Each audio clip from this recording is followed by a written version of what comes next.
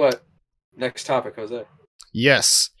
Uh, Bloomberg's Jason Schreier has reported that Sony is currently working on a remake for 2013's The Last of Us. Uh, Sony Bend Studio, whose sequel to their wide-selling Days Gone, never received a green light for a sequel.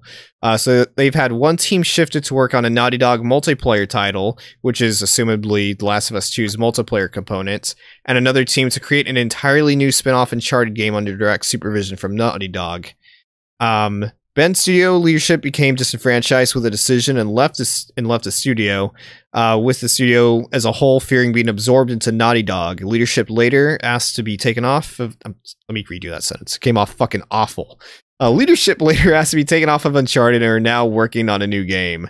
Uh, the Last of Us remake is now being developed in house by Naughty Dog with support from uh, Sony Sony Core's uh, Visual Arts Service Group, otherwise known as uh, VASG uh, who originally pitched the idea of a remake after growing tired of being purely uh, a support development studio. So they've kind of like had their hands in like basically every single Sony exclusive that's come out, but they've never like led the charge on their own original game development.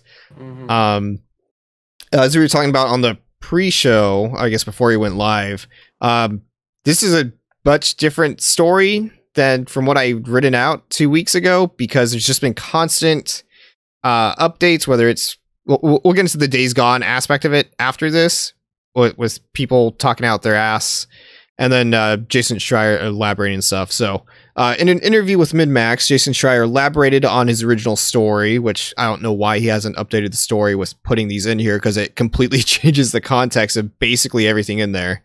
Uh, he elaborated that uh, following the release of The Last of Us Part 2, Naughty Dog employees, not necessary for the development of the multiplayer component of the game, uh, still needed a project to work on while new ideas incubate. So while they're planning on going into pre production, there's a bunch of developers just kind of sitting around. They don't necessarily have anything to work on.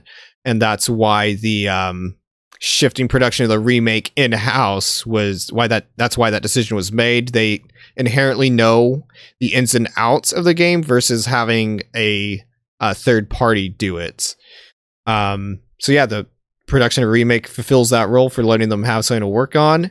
And just as the case is with the original Last of Us um, remaster that was done on the PlayStation 4 that I believe came out 2014, um, this is helping Naughty Dog kind of learn the ins and outs of the PlayStation 5 hardware.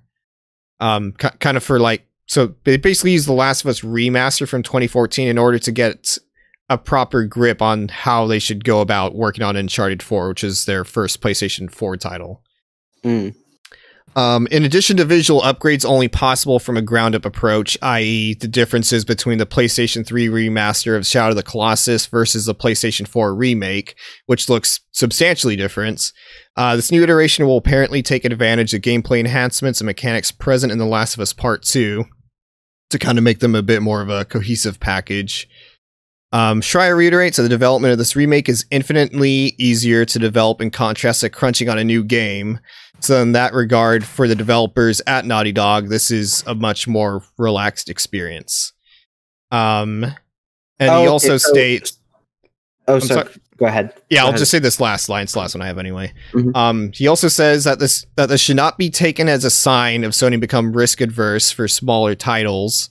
And uh, just as my own little notes, um, I don't think Sony's going to be like risk adverse. Like they're just going to be played like as safe as possible, like a EA or Activision, or whatever. I mean, you can just look at the nar- at the narrative of The Last of Us Two and like at least like it's in the scope of AAA games, I would say that that story was highly controversial and very not risk adverse in the slightest. But uh, go ahead, Corey.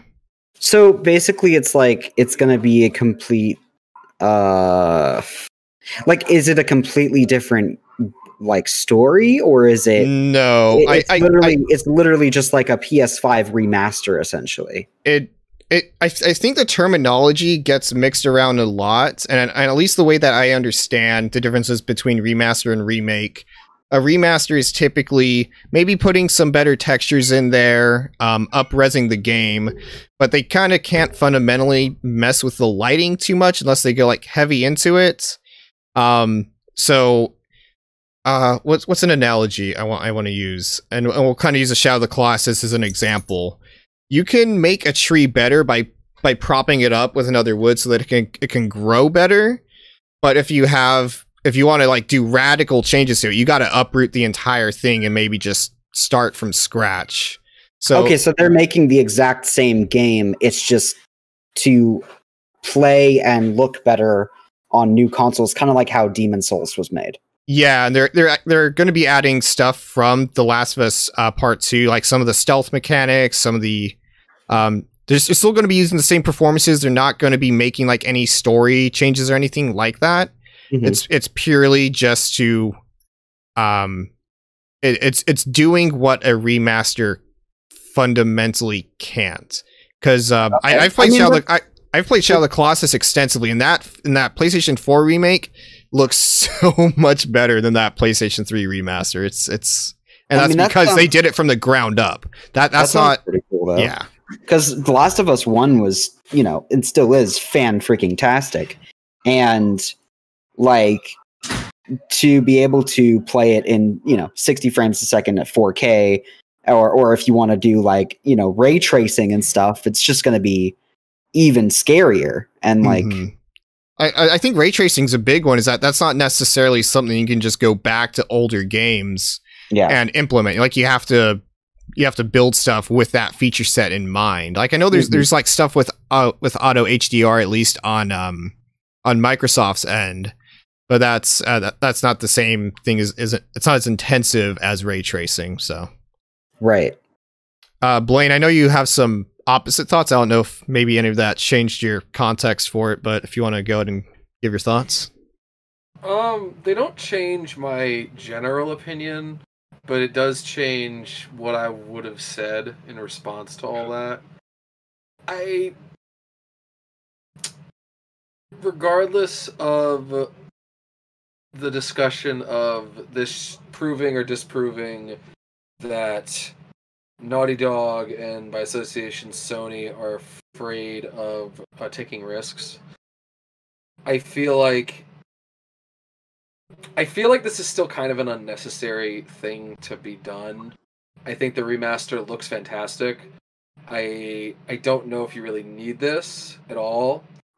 Um it's funny also for me to think about like Or, uh, taking to or just just to build off that real quick because i think i agree with you on this point that that remaster is still readily available and it looks and it Yeah. plays great it, it's like- yeah, it- like it- it, there's nothing fundamentally wrong with it No, Mhm. exactly. Um, I just I'm trying to be careful with my words here because for once I actually don't have a lot of like, bam, like to say about this.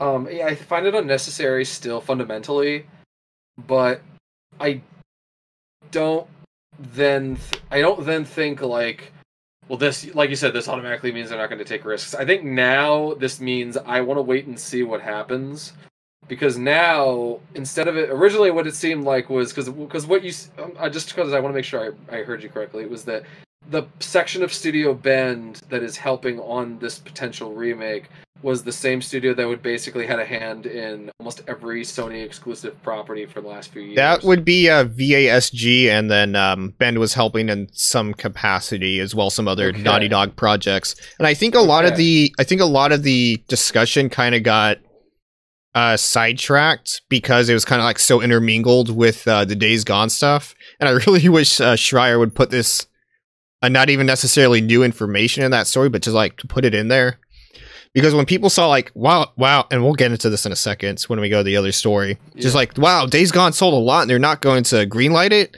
Why are they being risk adverse just because it only got a seventy? There's a lot of underlying issues that we'll get into there. no, no, Um, exactly. It- it- it's not Sony necessarily being risk adverse, just like it only got a 70. We're not going to do it. There, there's other stuff.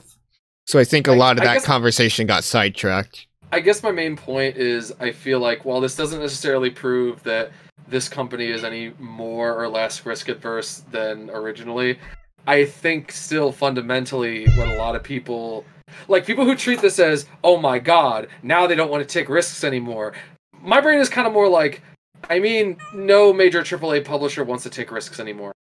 None of them want to take risks because through through their own fucking around in the AAA sphere, they they let me let me let me. I, this is so cute. Um, but I, I'm trying to keep get my thoughts in a row. Um, I think Bob Vids actually made a really good point that, um, in regards to the comment made by the idiot that we're going to discuss in a little bit, um, how the industry seems to like to blame outside sources for things it has caused. And one of those things is, again, if I remember correctly, and what Bob had said is that as far as like an obsession over like return on investment, obsession over return on investment of these games cost so much to make, so we have to do things like microtransactions and loot boxes and sixty to seventy and all this other shit. Um, and it really it, comes down to this where it's like, yeah, no, uh, sorry, I'm going, I'm getting in circles. I'm going to try and get back to the point. Is that you know we can sit here and debate all day, like, oh, um, this now means that they're less they're the, oh they don't want to take any risks. And it's like well none of these publishers want to take risks. They want to make their money back. And most of the time that's what they use to justify a lot of other shit. So it doesn't surprise me that they wouldn't want to greenlight a sequel for a game even that it sold well that also had like middling to to uh divisive reviews let's put it that way. Um and just especially with the climate of the way things are that like they keep making games more and more expensive to make. They respect the workers less and less. Um, they want to crunch more and more. So eventually something's going to have to give. And I don't think that. Sorry, I'm going completely off base here. Here, er, here Um, let, us go ahead and bring me back, bring me back, yeah, please. let- let's retract a little bit because we'll, we'll go into the days gone like pretty much as soon as we're done with this. Uh, specifically in regards to the Last of Us component of this, um, because I think you're you're trying to go on like the risk adverse stuff for it, like I was just specifically for to Last say- of Us. I was you- trying to you- say- you believe you- I believe you said it was it was uh it's kind of unnecessary because that remaster already exists and it and is already functional. Yeah. Okay. Yeah, Yeah, that, that's and- absolutely fair. Yeah, it is. It's, it's functional. It exists. It's unnecessary, and um, it's no indication of them wanting to take less risks. It's no more than any company doesn't want to take risks. That's the point I was trying to make. Yeah, I think- I think, Lost my- for a uh. I think after all of the all the, you know, the shit hitting the fan with The Last of Us Part 2 for a bunch of different reasons, I feel like they're literally doing this to take it easy for a while and like Mhm. it's it's it's definitely the easy route basically uh they don't want to pursue they don't want to risk they don't want to pursue any fresh ideas uh they don't want to take a chance right now until you know they're able to come out with something that will guarantee them success Well, a lot of it has to do with a lot of their crunch culture coming to light, and then um, yeah, they're, they're just like incubating ideas. Like Naughty Dog's a studio that likes to take its time on stuff. So all those like main production people that aren't necessarily pre-production, um, they they just need something to do, and this seems like the perfect um fit for them. yeah Mhm. But but that being said, um, this, this will probably be my last thought on, I guess. Um, as much as it can be seen as um as unnecessary, given that that remaster already exists, if it's ultimately the better product at the end of the day, I'm going to be happy about it. I'm gonna, probably going to play it. yeah. yeah i mean I uh, think but as as far as new game goes i don't i don't expect to see a new game from naughty dog for probably close to the end of the decade Yeah, honestly. It's going to be a quick minute. hmm And Um, um, yeah, I mean, damn, sorry, I had like one other thing to add, and my brain's doing that thing again. it's all good. Uh, I mean, until I guess until we find out, you know, because we really we never found out the full full story of Schreier's investigation. We just know what his investigation kind of he he told us what he had heard from people, and he put it out what needed to be put out. Naughty Dog did their response. Game came out, and then you know it all just kind of went quiet as these these stories often do, and Mhm. the spotlight's not on the game that everybody likes anymore. I, w- I was thinking Um, about this the other day, just like in regards to other things. The ultimate PR strategy anybody or any group organization can do is to literally just shut their fucking mouth. Yep. Absolutely. hmm Uh, if you keep the conversation going, at least it's out there. But just know, like that's the ultimate thing that But people can use to just shut down discussion. But on yeah, but on um Blaine's for note, Druckmann. it, it Whoops. eventually it all fizzled out. You know, Yeah. people got people got tired. People moved on as they always do. there's going to be a bigger fish to fry. Like, how, how relieved do you think um, Sony slash Naughty Dog was the second everyone like shifted over to talking about um, Cyberpunk? At, like, Oh, at least they were out of the God. Oh, crosshair yeah. for the bit. Yeah, exactly. And Cyberpunk was just an absolute shit show. Neil Druckmann put down front. his phone, wiped the sweat from his brow, and went, "Ah, for once it ain't me." right? Suck my dick, Neil, from the back. Yeah.